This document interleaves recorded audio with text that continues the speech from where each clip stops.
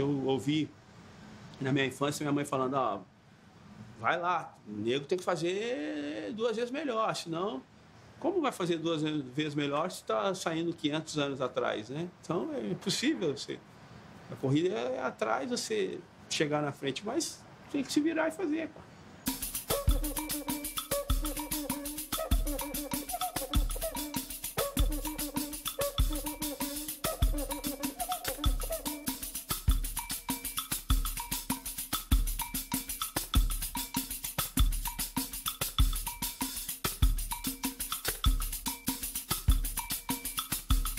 Um Charles, uma letra, uma bicicleta, jogadas jovens, alegres, fantasias de balé. O torcedor gostava era daquilo. Os jogadores mais brasileiros sentindo isso. A torcida levando para geral, para as arquibancadas, cuícas, pandeiros e tamborins, enchendo o estádio de sons de samba. Do vai mas não vai do samba, da nossa dança dionisíaca, coisa que não escapou à observação de Gilberto Freire o futebol brasileiro era dionisíaco. Era preciso saber tudo. Às vezes, o único jeito de fazer um gol era de letra. Quem não soubesse fazer uma letra, dar uma bicicleta, parar a bola numa embaixada, cobrir o jogador do outro time com um lençol, gingar o corpo, fingir bem fingido que ia, como se fosse, e mudar de intenção, encolher o peito para amortecer a bola, chutar enchendo o pé ou dando um peteleco na bola não seria nunca grande. Quando se sabia fazer tudo isso, a vontade que se tinha era de mostrar que se sabia. O grande jogador tinha que se limitar ao necessário, com a humildade de quem sabe mesmo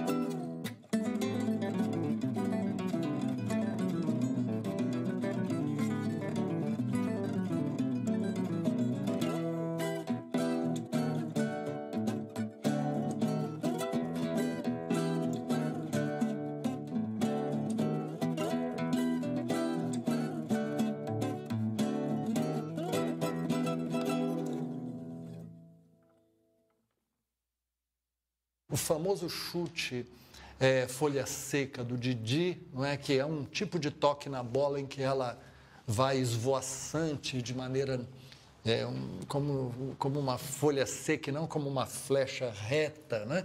Isso é uma elipse aplicada ao chute. Também o drible, as modalidades do drible, o dribbling elástico do Rivelino, que parece que a bola cola no pé, que vem do futebol de salão, aquele movimento súbito naquele zigue-zague que se faz com a bola colada, aquilo também é uma jogada não linear, não é?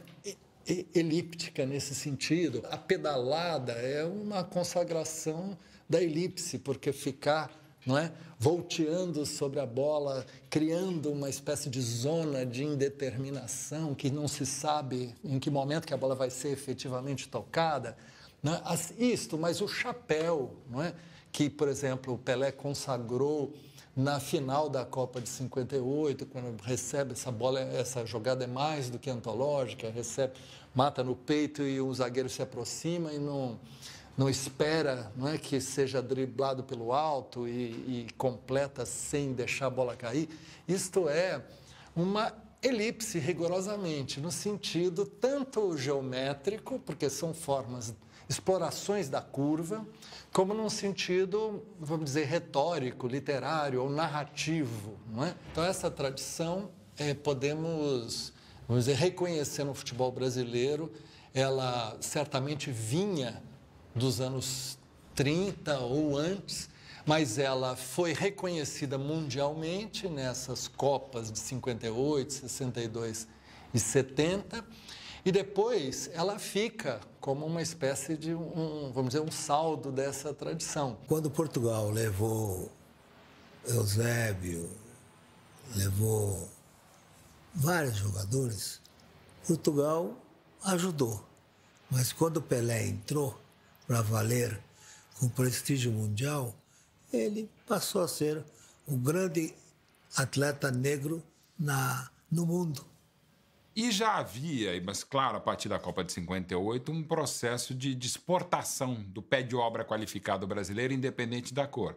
Tanto é que o maior jogador da Copa de 58, que foi o Didi, o príncipe etíope, um ano depois foi para o Real Madrid. A partir dali, os europeus começaram a buscar nas colônias da África e nas colônias da América Central né, os negros das suas colônias para ir jogar na, na França, na Inglaterra, na Holanda. Foi o futebol brasileiro que abriu essa porta, que derrubou esse muro.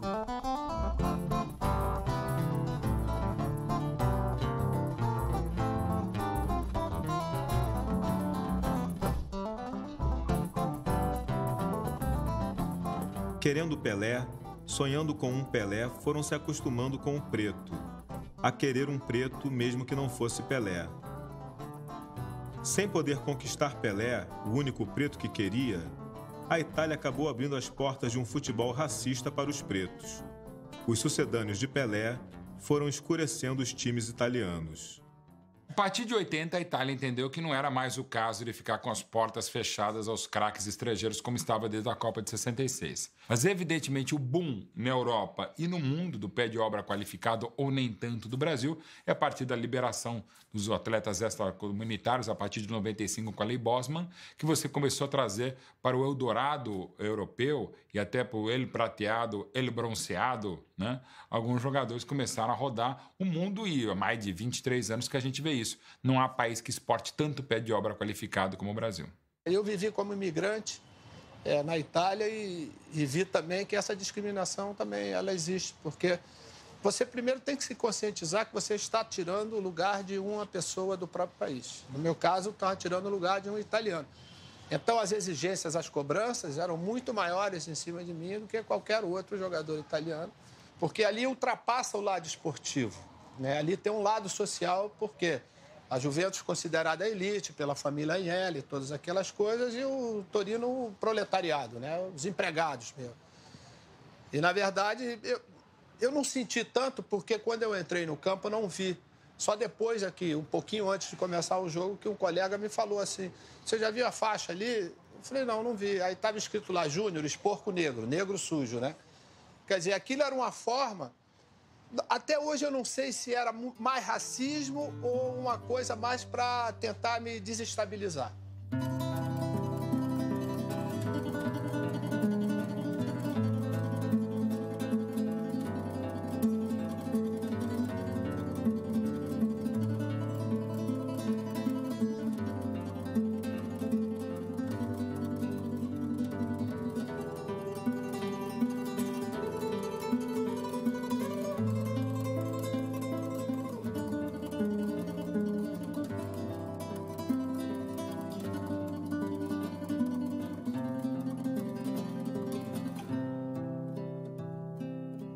Vi muito lá na Itália mesmo, né? Antigamente tinha, tinha muito racismo mesmo, entendeu? Né? Com Balotelli, com Sidorf, né? Chamava de macaco. Isso, isso, isso para mim não tem, não tem nem explicação por que vai fazer isso, entendeu? E chegou uma época até que o Balotelli pegou a bola, né? No, no jogo e chamaram de macaco, pegou a bola para parar o jogo, entendeu? Então a gente vê que, que dói. Não só com o Balotelli, como eu falei também, Sidorf, né? Outros jogadores também, que era de cor também, já sofreram muito. Então, eu vivi um pouquinho, né, dessa parte. As pessoas têm que saber que, né, por cara da, da cor, não vai mudar em nada. Todo mundo é um ser humano, todo mundo tem alma, todo mundo sangra igual todo mundo, é vermelho. Então, eu ficava triste, né, mas Fazer o quê? O foco era sempre quando você jogava com, com a Lazio, porque a Lazio sempre te, teve isso dentro das, das suas equipes. Acho que não permitiam nem que, nem que negros jogassem é, defendendo a equipe da Lazio. Então, quando você jogaria, quando você jogava contra a Lazio, você sentia que o ambiente era completamente outro quando um jogador negro pegava na bola. No ambiente de, de, do futebol, às vezes eles se deparam com pessoas que que só só manifestam esse racismo, esse preconceito, essa agressividade no, no campo de futebol porque estão cercados de mais 100. Entendeu? Aí vão chamar o Daniel Alves de macaco, vão jogar banana, não sei o quê. Mas se estivessem sozinhos, passasse o Daniel Alves, talvez pediriam até autógrafo, entendeu? Mesmo sendo do outro time. É, é, existe essa coisa, às vezes os covardes se reúnem y se, se tornam assim os super-homens do negócio. Minuto 76 de partido. Va a tirar un córner Alves y algún tonto, que hay algunos cuantos por ahí en el Madrigal ayer, que no representa a su afición, pero que da la nota, tira ese plátano. Alves, la reacción que tiene es cogerlo y comérselo.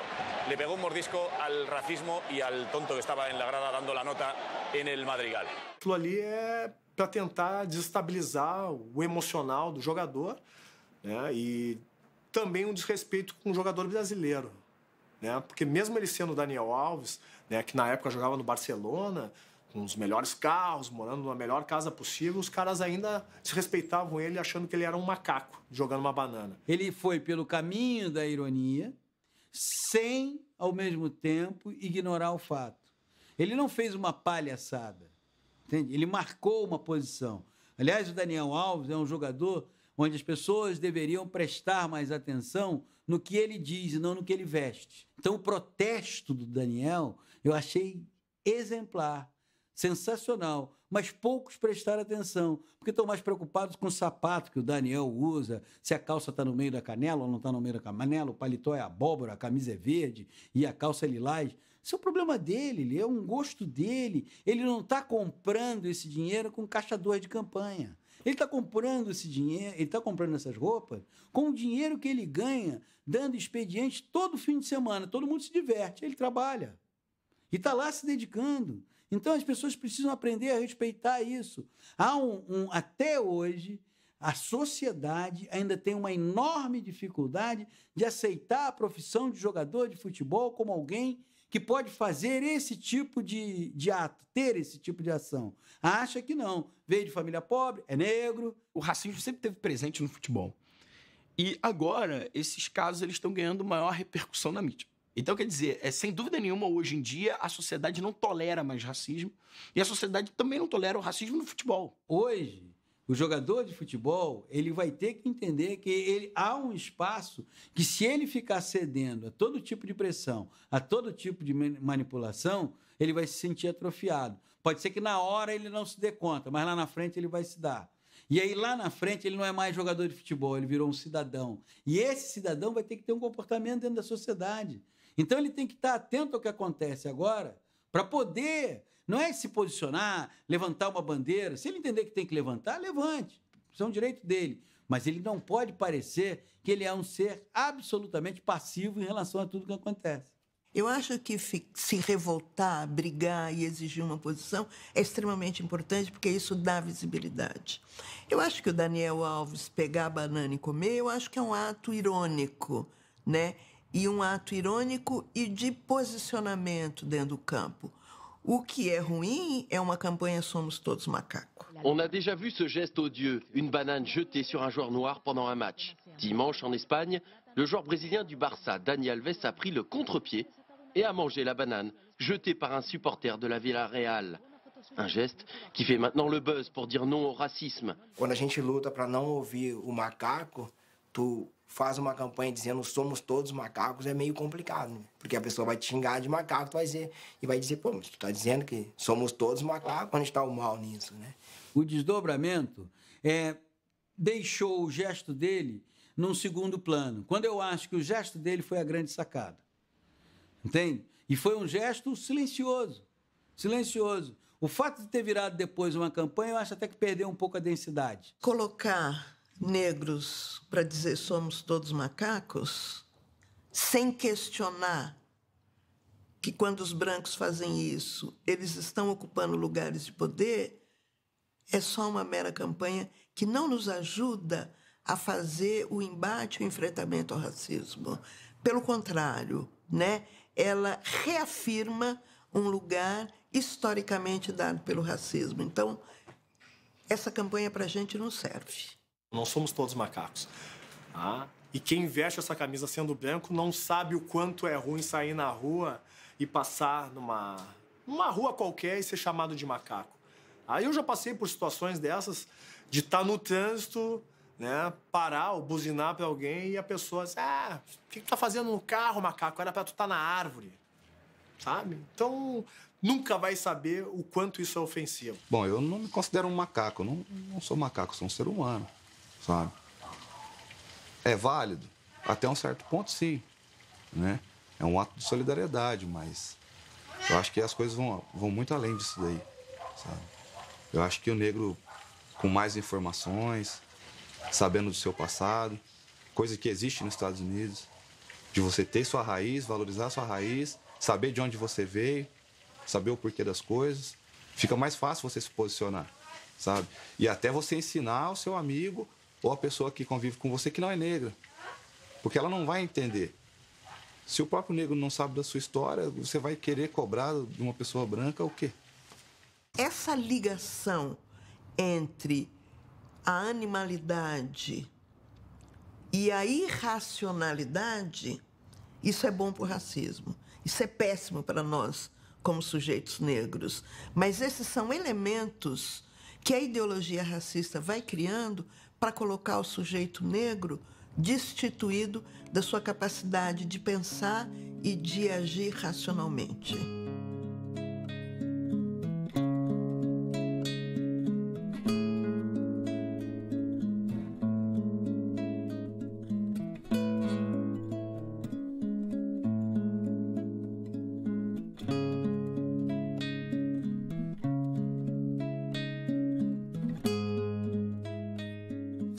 Alguém assim como Pelé para completar a obra da princesa Isabel. O preto era livre, mas sentia a maldição da cor, a escravidão da cor, dom de tanto preto não querendo ser preto. Assim, Pelé cumpriu uma missão: permitir que os pretos, brasileiros e de todo o mundo pudessem livremente ser pretos.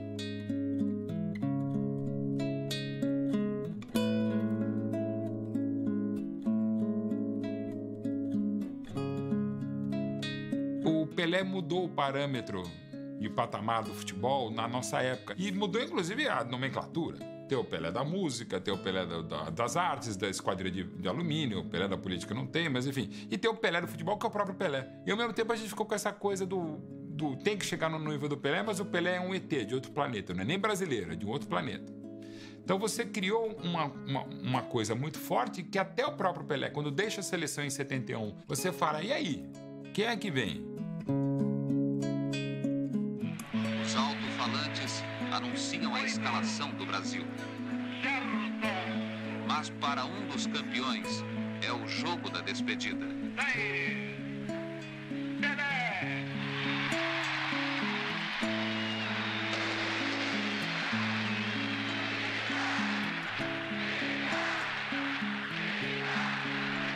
Pela seleção jogou 110 vezes. Marcou 110 gols.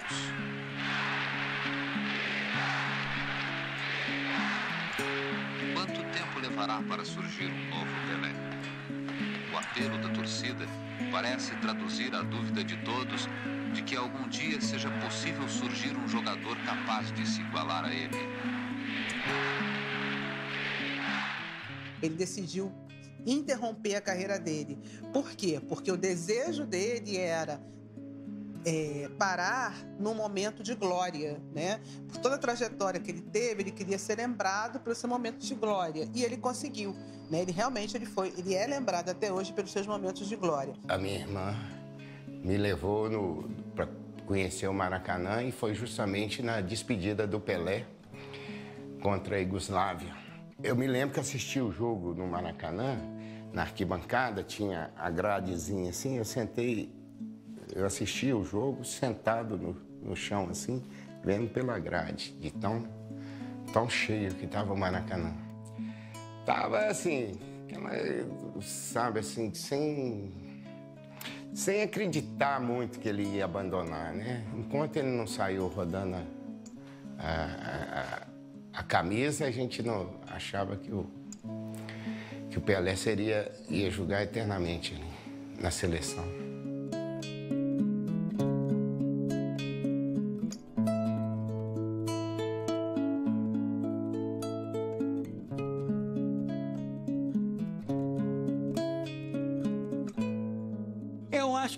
Mais uma questão de como eu vou encerrar minha carreira na seleção. Eu já não sou mais o mesmo. Né? Eu tenho mais de 30 anos, o futebol está passando por uma transformação. Acho melhor deixar, deixar a minha história com essas quatro Copas, sendo que na primeira e na última eu arrebentei, do que eu ir para uma onde eu não sei o que eu vou render. Eu acho que o que norteou a decisão dele foi muito mais a questão técnica. Um profissional acostumado a atuar em alto nível, certamente um profissional exigente ao extremo com o seu desempenho, com a sua capacidade, por entender que essa era uma das melhores formas de se afirmar como negro na sociedade, né? Dizendo, olha quem eu sou, olha o que eu faço. Ele chegou e falou assim: deixa essa de fora, porque certamente eu não vou ser o mesmo. E aí o que, que vai acontecer? Vão cair de pau em cima de mim. E vieram caras geniais, alguns que foram tri com eles, ou que já estavam, como Ribelino e Tostão, que parou logo depois, três anos depois. Aí você vê um Zico, você vê um Sócrates, você vê um Falcão, você vê um pouquinho mais atrás o Cerezo, você vê atacantes maravilhosos como Reinaldo e Careca, aí você vê um Romário, você vê um Bebeto, aí depois de 24 anos da, do tri do Pelé de 70, e não só do Pelé, também do Jairzinho, você tem um Romário e Bebeto.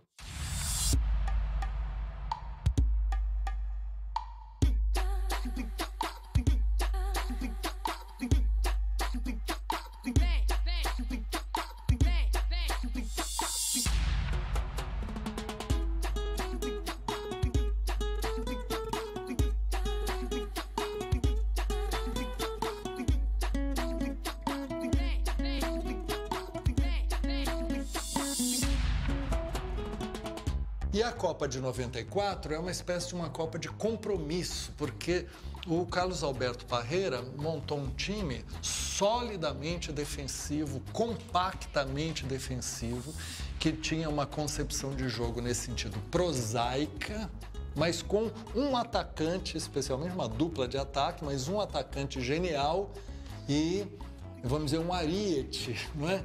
é um artilheiro capaz de, de criar gols quase do nada, não é? como uma espécie de condensação desse futebol de poesia. Hein?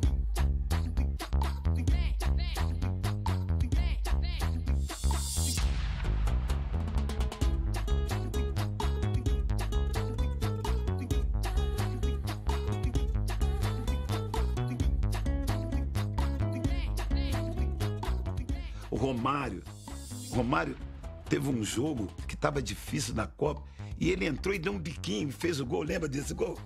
Pô, fiquei olhando assim e falei, pô, esse cara é fogo. Outro lugar ia ajeitar. Tinha gente que ia passar até batom pra, é, no cílio. O Romário não, tá, tá, tá. De qualquer jeito ele fazia o gol. Aí tem que tirar o chapéu pra esse cara.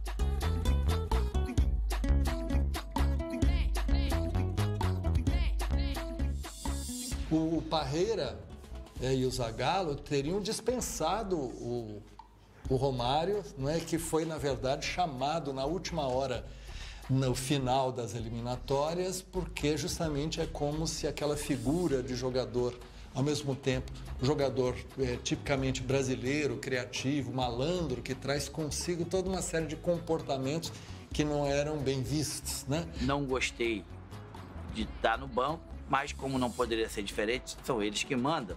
Eu vou ficar no banco se eles precisarem de mim. Se eu entrar, vou procurar fazer o melhor. Desse jeito que eu falei para a imprensa, falei para eles.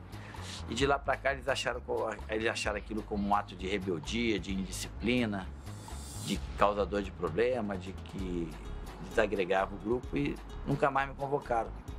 Até que chegou um determinado momento que é, eles foram obrigados a a me convocar, porque o povo pedia, o presidente da CBF determinou, mandou. E como bons, bons cordeirinhos, né? tiveram que aceitar e me chamar. Sobrou pra gente, Brasil ou Uruguai na final. Faltava uma semana. Eu vim para casa reflexionando, pensando, falei, é hora do Romário.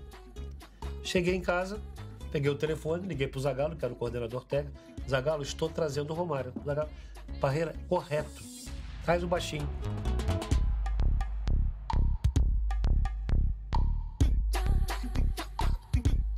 Mas foi, na, na verdade, necessário combinar e conciliar esta, essa espécie de disciplina coletiva, vamos dizer, representada por Dunga, com a, a vamos dizer, a insubordinação lúdica não é? e malandra de Romário, e uma combinação, portanto, desse fundamento gaúcho e carioca, que afinal de contas é o que levou a vitória naquela Copa.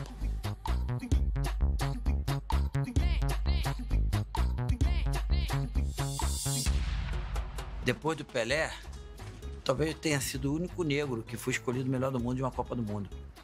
Isso é uma coisa também bem interessante que, que marca também na minha, na minha carreira, né? Depois da era Pelé, é, Pelé chegou a ser depois do Didi, né? Primeiro negro foi o Didi, depois foi o Pelé. Eu, com certeza, pelo menos assim, em princípio eu não me lembro que tenha... tenha ah, o Ronaldo, né? Também não sei se o Ronaldo é negro. eu, enfim. E ele era muito cobrado quando jogava futebol, porque ele ia para noite, etc. Mas chegava no domingo, ele fazia dois gols e ganhava o jogo, fosse por qualquer, qualquer clube que fosse. Então, eu lembro que ele, ele falou numa entrevista que é, as pessoas não suportavam que alguém que tinha sido criado numa favela como ele tivesse os, os bens que ele possuía, os carros que ele gostava de ter, né, as namoradas que ele tinha tido, porque, na verdade, ele tinha vindo do, da favela. Quer dizer, então, aqui no Brasil, acho que até hoje, a, a, origem pesa muito. E ele era uma das pessoas que, que contestavam esse sistema, essa, essa, esses preconceitos, porque os preconceitos continuaram, né? Até hoje, é, quando a polícia vê um grupo de branco, é festa. Quando vê um grupo de, de preto, é assalto. Infelizmente, se convive com isso no país. É uma tristeza. É chato, né? E ao mesmo tempo a gente se vê atado. Porque não sabe como é que vai ser a as reações né, das pessoas. Tem pessoas que são solidárias e outras que são contrárias. Acham que quando a gente expressa esse tipo de, de situação, acho que a gente está sendo mimimi, está tentando valorizar, hipervalorizar uma situação que antigamente ninguém abria esse, esse debate, então está querendo aparecer em cima do racismo. Ninguém quer aparecer em cima de racismo. O racismo ele é, ele é diário, ele é, ele é uma consequência da má uh, educação que o país tem, né? de uma doença que o, que o Brasil não quer tratar que é o racismo. E ele é, historicamente, vem desde do, da época que o Brasil foi descoberto.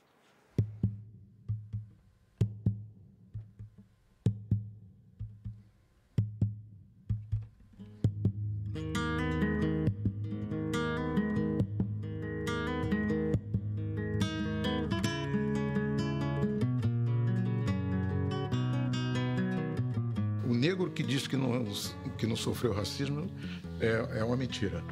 A gente sempre sofre no colégio, é, no, no, no, vizinho. Tinha uma vizinha minha que detestava negro, esses neguinhos e tal, não sei o quê, mas eu sempre tirava de letra. Eu procurava levar a minha vida em frente, menos sendo criança, é, mas o preconceito sempre em primeiro lugar.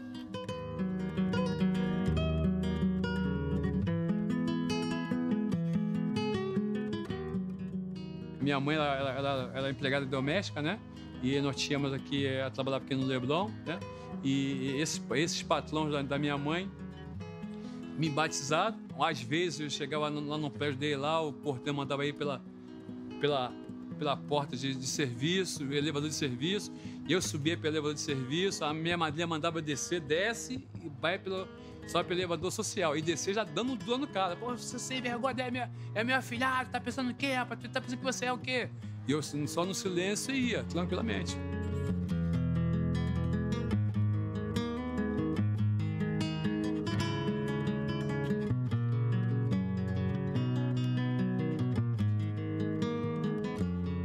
todo negro, né, desde, a sua, desde que nasce, na sua infância já passa por determinadas situações de conflitos. Então eu escutava desde criança, né, ah, quando é que nego é, quando é que nego é gente, ah, quando tá no banheiro, ah, não vai fazer coisa de preto, ah, então piadas que vieram desde a minha infância até a minha fase adulta.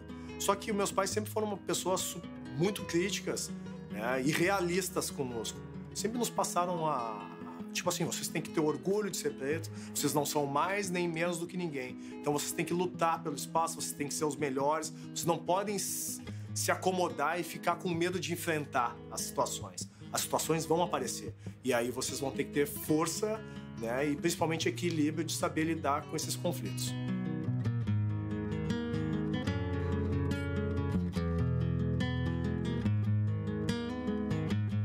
Já fui parado é, em carros de amigos. E onde que é, eu fui em- é, revistado. E meu amigo que era branco, Luiz Cláudio, no caso não, isso já aconteceu.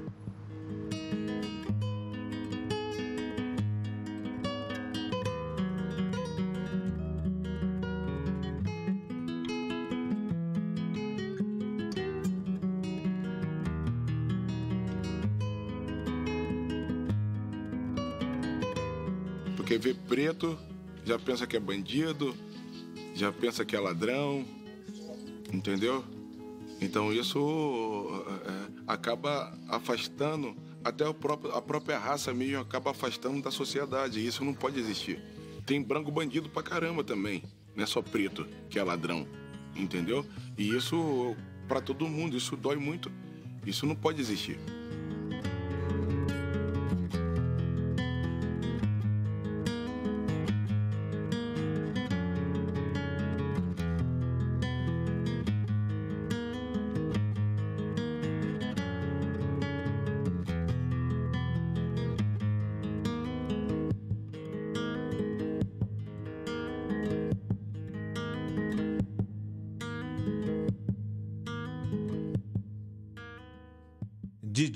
Graça de uma foca equilibrando uma bola na cabeça. Jogava ereto. Só na ocasião de um drible ou de um passe é que aparentemente se desequilibrava. Não passava uma bola ao natural, empurrando-a, fazendo-a rolar. Dava-lhe uma chicotada com o pé para que ela tomasse efeito e caísse onde ele queria. Foi assim que inventou a folha seca. Uma vez eu ouvi do Flávio Costa ele dizer assim: ele detestava o Didi. O Didi é um jogador presunçoso. Ele não faz um passe da maneira normal. Ele quer sempre dar um efeito, dar de trivela, de não sei o que e tal. Ele criticava o Didi pela folha seca. A gente sempre esquece, né? Que a gente lembra do Garrincha, do Pelé, do Bellini. O Didi é o grande craque da Copa de 1958. Ele era elegante, né? Ele era... E ao mesmo tempo que ele tinha noção do que ele representava em campo, ele também era arrogante. Eu, eu, eu comparo muito essa arrogância do Didi com aquele estilo de arrogância do Muhammad Ali, né? Do Ali, aquela coisa toda, do saber o quanto ele é bom. E, claro, isso incomoda. Não É É muito ma- mais fácil a sociedade aceitar um negro que se coloca no seu lugar do que um negro como o Didi. Eu acho que o Didi, além de tudo, é um jogador de uma inteligência que fez dele um bom técnico de futebol. O Didi foi muito bom técnico de futebol. O que raramente acontece com os jogadores, de um modo geral. Já aconteceu o caso do Zagallo, do Tele, etc., mas não é comum. Muitos jogadores é, vão ser técnico de futebol, acabam em Dunga. E depois ele foi também tentar desbravar outro, outra seara, né? que é ser técnico de futebol. Né? E teve algumas dificuldades, fez muito mais sucesso no Peru do que no Brasil. Você vê o time peruano jogando na mão do Didi, ele, ele, ele, ele, ele fez aquele time do Peru jogar como time brasileiro, coisa incrível. É, latino, né? Falou, ah, vamos jogar assim, vamos armar assim tal. Então eu fui jogar depois no Peru. Eu, o, o, o, o, time do Aliança Lima tem lá na, na, no estádio do Aliança um, um busto lá do Didi. Didi conseguiu superar essa questão. Mas realmente são poucos. Outros grandes negros treinadores, poucos ou se aventuraram ou tiveram chances. Não vou dizer que só pela questão da cor, mas é muito pouco o treinador negro para o futebol tão rico como o brasileiro. Foi técnico da seleção peruana, quando podia ter sido técnico da seleção brasileira. Mas nunca teve um técnico da seleção brasileira negro. É, e foi quando ele falou para mim, ó, para ser treinador negro, para ser treinador no Brasil, sofre muito. Eu fui um dos maiores jogadores do Brasil, bicampeão mundial. Para trabalhar aqui foi um, um sufoco. Aí, aí já vem o, o, racismo desde lá de trás. Então, quer dizer que você vê que hoje no, no, futebol brasileiro, você, não, você conta aí Série A e Série D aí, você vê aí quantos, quantos negros tem como, como treinador. O negro ainda não conseguiu se firmar no mercado de técnicos do futebol brasileiro. Não conseguiu. Vamos ficar no Brasil, né? E não conseguiu também ocupar cargos de direção em clube. Se você olhar, a administração dos clubes, ela é com a raça branca. No caso dos técnicos, surpreende a mim o fato de que nós temos uma quantidade muito expressiva de jogadores negros e poucos conseguiram se transformar em técnico e ter visibilidade no mercado. Acho que é, um, é uma questão que o mercado tem que refletir muito. Por quê? Por que, que não há tantos técnicos negros assim? Será que os negros são incapazes, não conseguem dirigir um time de futebol? Será que eles não têm mérito? Será que eles é, não conseguem pensar? Então, o futebol brasileiro até hoje não conseguiu, na sua estrutura de técnico de futebol, na sua estrutura diretiva, dar espaço para os negros. Quando eu estava na, na, Alemanha, em 2009, um dia um, um colega meu alemão falou para mim: Pô, Tinga, vocês são os melhores do mundo no futebol. Os melhores jogadores do mundo, a maioria dos brasileiros que subiram no pódio como o melhor do mundo são negros. É Romário, é Ronaldinho, é Ronaldo Gaúcho, é Rivaldo, né? daqui a pouco o Neymar. E isso é, é muito bom, mas eu não vejo negros na dirigência, eu não vejo negros no banco de reserva dirigindo. Isso em 2009. E aquilo, eu escutei aquilo, aquilo foi direto no meu coração. Eu falei, quando eu parar de jogar, eu vou querer ser dirigente.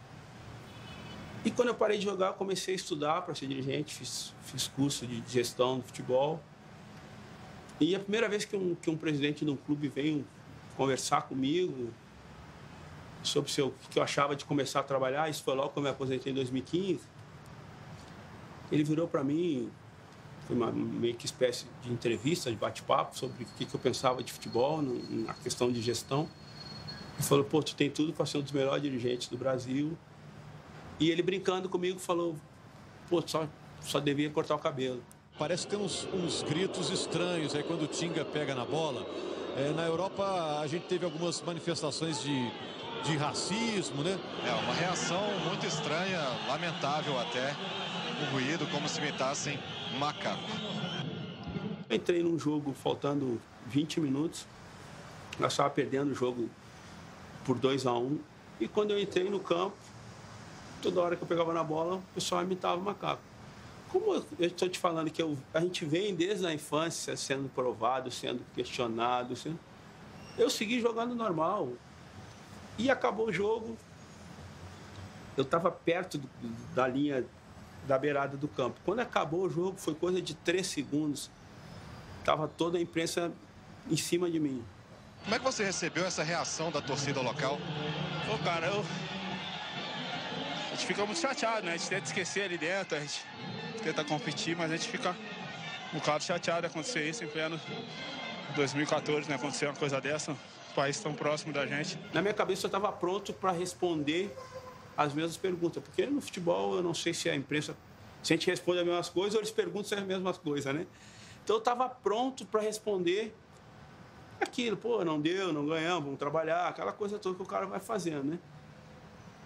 Só que, para minha surpresa, eles vieram perguntar como eu estava me sentindo sobre aquele caso. E aquilo ali, como para mim ia ser mais um caso que ia acontecer, ia passar, não estava com aquilo na minha cabeça. E o, o repórter me surpreende e fala: pô, Tinga, como se sente nesse caso, você passando esse ato de racismo aqui em pleno Peru? E aí, quando ele começou a falar, eu não sabia o que responder, porque não estava programado. Aí o Chip está tentando entender e o que, que eu fiz? Ele me deu a resposta. Ele pegou e falou: pô, você que foi um jogador vencedor, ganhou vários títulos, como você se sente? Se pudesse não ganhar nada e, e ganhar esse, esse título contra o preconceito, eu ficaria, trocaria todos os meus títulos por, por uma igualdade em, em todos, todos os lugares, todas as áreas, todas as classes. Em março desse ano, no Gauchão, em um clássico Grenal, o zagueiro Paulão do Internacional sofreu com insultos racistas. No mesmo campeonato, na cidade de Bento Gonçalves, o árbitro Márcio Chagas da Silva foi hostilizado por torcedores do esportivo. Um grupo de torcedores se posicionou próximo à, entra à, à entrada do vestiário e começaram: macaco, ladrão, volta pra selva, morto de fome, favelado, essa negrada. Como é, um, uma coisa que eles gostam de falar bastante no interior, né? Matar negro não é, não é crime, é adubar terra. Quando eu abri a porta do vestiário para pegar o meu veículo, porque eu tinha ido de, de carro para a partida, me deparei com o meu carro com umas bananas em cima do veículo. A porta, tanto a minha como a do carona, amassadas a pontapés. E aí, quando eu fui dar a partida, o meu carro engasgou três vezes. Na quarta, na quarta vez, caíram duas bananas do cano de escapamento. Aí, para mim, aquilo ali foi a gota d'água. Um jogador me pegou pelo braço, me levou num canto e me disse: Márcio, aqui sempre é assim. Aí eu disse pra ele assim, só que hoje eles deram o tiro no cara errado, porque não vai ficar assim. Hoje todo mundo vai ficar sabendo o que acontece e do que você sofre e não podem falar. Aqui no Rio Grande do Sul, outro ato racista no futebol marcou a semana. Um árbitro foi ofendido durante uma partida do Campeonato Gaúcho entre dois clubes do interior. Esportivo e Veranópolis. O juiz Márcio Chagas afirmou que foi xingado por torcedores enquanto apitava o jogo. Após a partida, o árbitro ainda encontrou bananas em cima do seu carro. A lataria também estava amassada e riscada. O caso que aconteceu comigo uh, foi exatamente duas semanas após ter acontecido o fato com o Tinga no Peru. Né? Então foi uma sequência assim. Aconteceu com o Tinga duas semanas antes, aconteceu comigo um dia depois aconteceu com o Arouca no Campeonato Paulista e quatro meses depois aconteceu o caso do Aranha. Né? Foi uma sequência de casos de racismo explícitos assim no futebol brasileiro no ano de Copa do Mundo. Nós vimos o árbitro Wilton Pereira Sampaio conversando ali com o Roger Goulart, né, que é o quarto árbitro, que é aqui do Rio Grande do Sul. Agora ele vai lá conversar com os jogadores do Santos. Acho que o Aranha está fazendo, pelo sinal que ele fez ali, dá a impressão que alguém fez alguma manifestação racista em relação ao Aranha.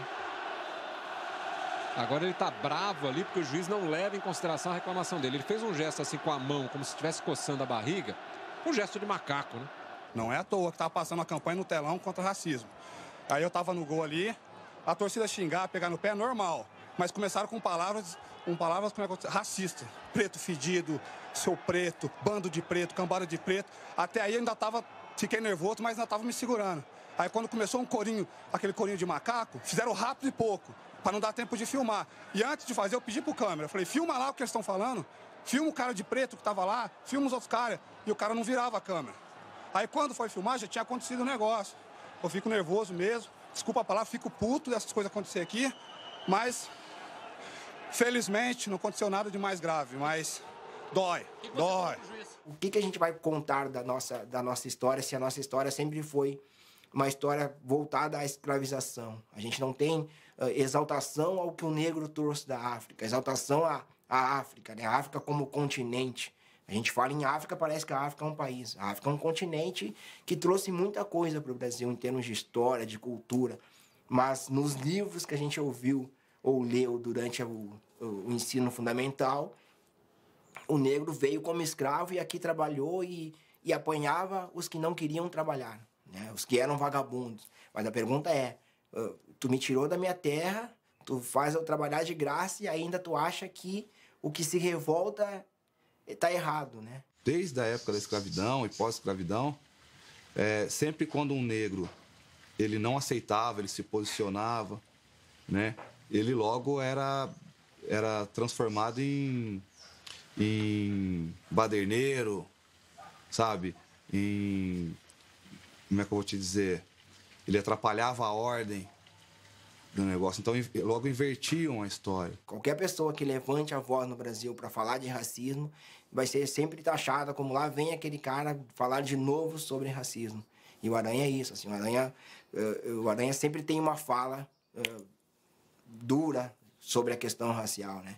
E aí aqui no Sul ele vai aqui no Sul ficou essa coisa de parece que ele ele atuou contra o Grêmio, né? Toda vez que o Aranha vem jogar aqui tem um clima hostil, é, como se ele fosse o culpado do Grêmio ter sido desclassificado, quando na realidade os caras tinham que enaltecer o posicionamento dele, de não aceitar de uma forma omissa, calada e covarde, né, e sim se posicionar. Eu acho que o Aranha ele é um personagem do combate ao racismo no futebol brasileiro. Não tiraram nada de, de bom da situação, sabe? Continuam achando que o errado sou eu, né? Que eles são a vítima que eu causei tudo aquilo. Né? Muitas pessoas dizem, ah, o Aranha agora ele, ele quer se fazer de vítima. Não, eu fui vítima.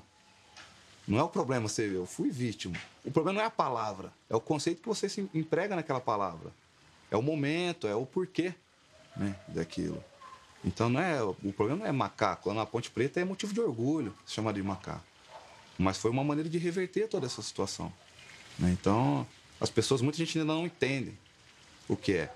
Pratica o racismo, a injúria racial, mas ela nem sabe o que está fazendo. Ela só reproduz aquilo que ela aprendeu. Imediatamente após o jogo, foi feita uma revisão nas imagens de TV. Elas mostram torcedores fazendo gestos racistas. Qual é a meta do racismo se não desumanizar sujeitos negros?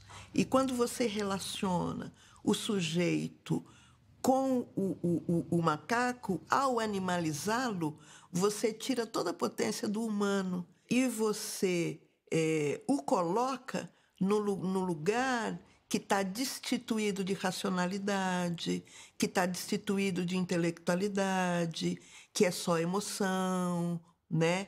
É que é instinto. Portanto, isso vai contribuir, por exemplo, na hora que eu vou buscar um trabalho, e que o outro vai achar que eu não tenho as competências racionais suficientes para ocupar aquele cargo. E aí eu fui e fiz como a regra pede. Fui até o árbitro, comuniquei ele, fiz a minha parte. Quando ele não tomou uma atitude e me mandou voltar para o gol, aí o estádio comemorou. Como se aqui é assim mesmo, aqui o negócio toca dessa maneira. Daí foi onde eu fiquei revoltado, fiquei nervoso, tá? mas ao mesmo tempo não podia deixar de me concentrar na partida. Então foi uma situação bem complicada. Porque se eu não tivesse provas, né? Então eu teria problemas muito graves. Então, ainda bem que filmaram, porque eu pedi. Eu pedi para muitas câmeras, o pessoal que estava ali, repórter, filmam, filmam, vocês estão filmando, vocês estão ouvindo isso? Filma. E ninguém se manifestou. Ninguém quis virar a câmera para o lado da torcida e, e, e filmar. E aí teve uma emissora que pegou um pouquinho só e já deu essa, esse tumulto todo. Né? E o negócio foi muito maior do que parece. O árbitro Wilton Pereira Sampaio, que não tinha registrado o fato em súmula logo depois da partida, incluiu um adendo no dia seguinte, onde diz que ficou sabendo das ofensas através da imprensa e de dois atacantes do Santos. E ele se recusa a ficar em campo. Aquilo, para mim, é um momento emblemático do futebol brasileiro. Porque o Aranha com uma consciência dizendo eu não vou jogar e usando a lei para sair né, de campo. Então, é, eu acho que é um momento muito importante para o racismo no futebol brasileiro. A partir de então, as próprias torcidas pensam muito antes de fazer qualquer gesto racista e ato racista. Eu acho que o Aranha tem tudo para ser uma. O caso Aranha tem tudo para ser um turning point nessa relação entre o racismo e o futebol brasileiro. Eu não, eu não sou representante de nada e nem de ninguém. Eu me represento. Eu não carrego a bandeira de ninguém, de nenhum movimento. sabe? Eu faço o meu movimento, eu me posiciono. E muitas vezes isso serve como exemplo para outras pessoas. Sempre tem me perguntado: aumentaram os casos? Não, aumentaram o número de denúncia. Os casos continuam os mesmos. Só que antes as pessoas não, não tinham coragem de, de denunciar ou de se posicionar, porque não viam punição, não viam nada. E como o meu caso ficou muito conhecido, o pessoal começou a denunciar mais. Antes de deixar Porto Alegre, Aranha prestou queixa contra os torcedores na delegacia de polícia. Eu esperei que as imagens aparecessem, que eu tivesse as provas suficientes para poder fazer isso, né? Eu acho que assim tem algum resultado. Esse tipo de caso você tem que levar ao extremo. E não apenas no campo de futebol. Se você, por acaso, se sente de, forma, de certa forma discriminado, você tem que manifestar isso. Você tem que levar isso adiante. Eu sempre digo o seguinte: essas coisas não vão terminar, mas elas têm que ser combatidas. Porque se elas não forem combatidas, vai ter alguém que vai achar que isso é natural. E não é natural. Então a única maneira de mostrar que não é natural é combatendo. Tu não é um jogador de 90 minutos, tu é um cidadão. Né? Como é que tu vai passar isso para os teus filhos, isso para os teus familiares, netos, né? essa questão da, da autoafirmação, né? do ter orgulho de ser negro, de saber se posicionar. Falar sobre racismo no Brasil, né? de novo a gente entra nessa questão. assim É muito difícil para qualquer pessoa negra. E determinado momento da história é muito mais difícil tu falar sobre racismo e tu levantar essa bandeira. Nenhuma conquista ela é de graça, ela é dada. É, esse, todo esse longo processo que a gente está discutindo, da entrada do negro do futebol até hoje, ele não foi um processo é, linear, sem problemas. Muito pelo contrário, ele foi um processo em que eles foram é, é, constantemente discriminados, em que eles foram desafiados a continuar no esporte, a lutar por aquele espaço. A partir do momento que esses jogadores é, se reunirem, né, e outros jogadores que são contrários àquilo, mesmo sendo brancos, também apoiarem a causa e se reunirem para o que é, colocar como pauta, não aceitamos isso e quando isso acontecer, a nossa atitude vai ser essa. Então, vou sair de campo, o time vai se retirar, os próprios torcedores vão pensar diferente, vão exigir das instituições outras reações e a gente vai desconstruir ah, o racismo no futebol como algo normal, como algo da cultura do futebol, seja no Brasil, seja fora. Então, assim, é, é, essa resistência ela é fundamental, mas em, em coletivo isso é muito mais forte.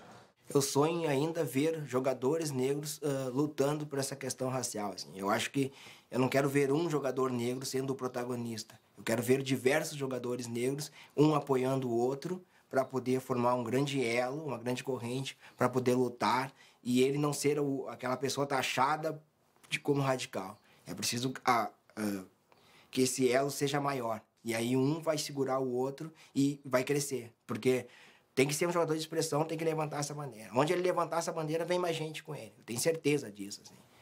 Mas enquanto não levantar, o que levanta apanha. Quando alguém era ofendido, chamado de macaco, negro sujo e ficava calado, aquilo era uma situação de uma época, inaceitável naquela época. Mas quais eram os mecanismos de protesto? Como mostrar sua indignação? Mesmo que você a mostrasse, de repente você não teria o apoio da sociedade. Diferentemente do que acontece, não hoje, mas já há algum tempo. Quando você mostra a sua indignação por causa de uma ofensa, a sociedade te apoia. Ele é um mundo mais saudável, cansativo pode ser em algumas horas, outras horas. Poxa, mas isso é uma bobagem. Não, nada é bobagem. Está tudo provocando uma reflexão. E nesse período, estamos em transição. Transição é assim mesmo. Vai haver um exagero, daqui a pouco tem outro exagero ali, mas é aquela velha história de um ditado gaúcho. É com a carroça em movimento que as melancias se ajeitam. Cara, eu acho que a gente escuta coisa hoje Cara, mas o que nossos avós escutaram foi brincadeira, não escutavam, eles apanharam. Entendeu? Então, eu não estou dizendo que a gente tem, não tem que ficar chateado porque acontece. Cara, mas nossos avós apanharam, nossos avós não podiam entrar num tal lugar, não podiam entrar no ambiente.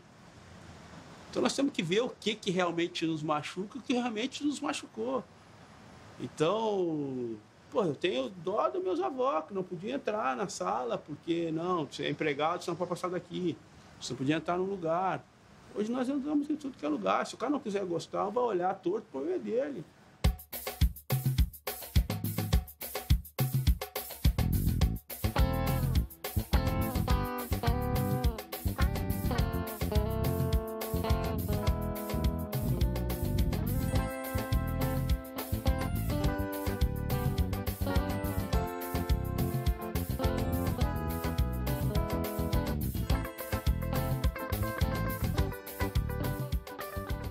Negro no futebol brasileiro é fundamental. Eles, de uma certa forma, foram ensinando aos brancos jogar com ginga, jogar com, com como diz Jorge Ben, com malícia, né? jogar com, com fluência, apostar no drible, apostar na, na diferença, no modo diferente de, de jogar.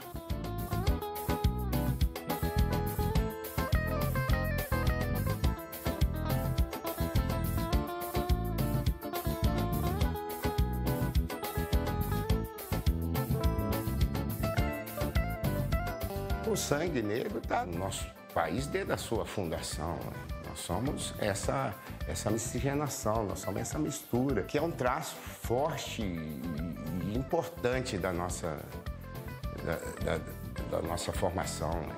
O Brasil não, não seria Brasil se não tivesse o sangue negro, não.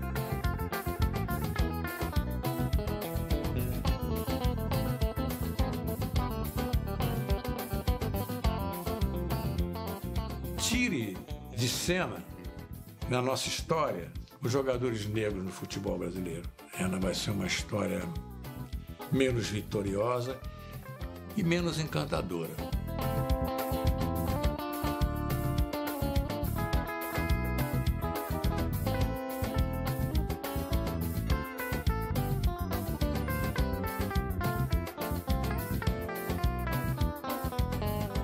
O futebol tá nas entranhas do brasileiro, né? E com certeza o negro tem uma importância muito grande nessa área também do nosso país. A gente não pode esquecer que a nossa população é 55% negra e os negros têm essa força, não só no futebol, como no esporte geral, na cultura. Isso aí a gente predomina.